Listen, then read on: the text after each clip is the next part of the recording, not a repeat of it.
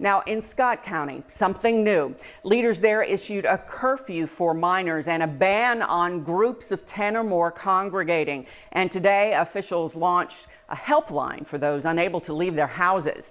LEX 18's Lee Searcy has that story from Georgetown. These days, we all need a little fresh air. At the Scott County Park, kids played basketball and enjoyed the playground. Good, clean fun as long as there are no large groups.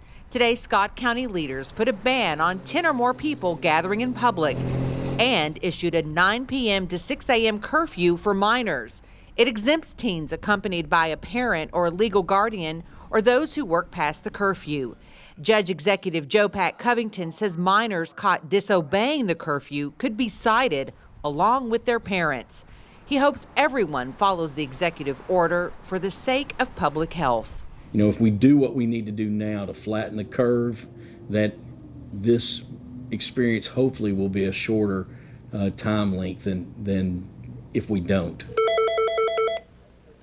At the Emergency Management Center, volunteers answered calls for a new helpline set up to help those who need it most. We're trying to concentrate our efforts on the elderly and uh, people with immune suppression that physically cannot get out and uh, work, you know, help themselves.